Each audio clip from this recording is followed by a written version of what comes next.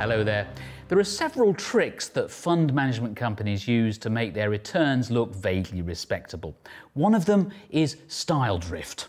Simply put, style drift refers to the divergence of a particular fund from its stated investment style or objective.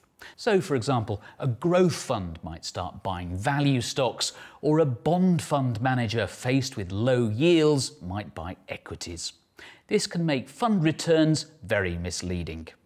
A recent study of UK equity funds by the True and Fair campaign shows that any outperformance over the last five years can largely be put down to the fact that most funds are heavily weighted towards small cap stocks. What you've seen in the last five years is you've seen significant outperformance in the UK, more than most other markets in the world of these small and medium-sized companies. So these funds look like they're absolute heroes because they're overweight in small and mid-sized companies and of course those sector, the UK market's done really brilliantly.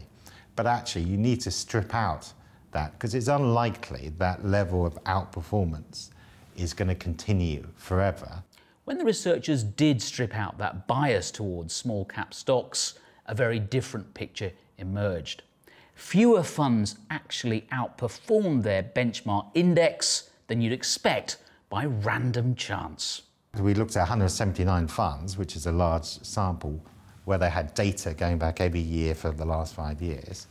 And you looked at whether they outperformed the underlying universe of the stocks they tend to invest in, i.e. the biased or small, medium-sized companies, each year of the five years.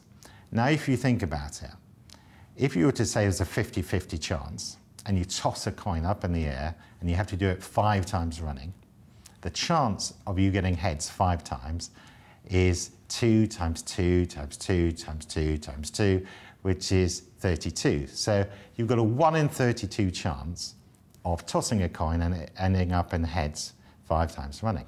Now, if you think about 179 funds, we actually found there were just four, four funds that actually outperform five years running, which is slightly less than 1 in 32 chance.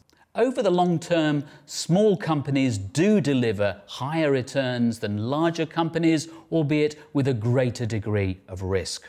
But a far cheaper and more effective way of capturing those higher returns is via an index fund.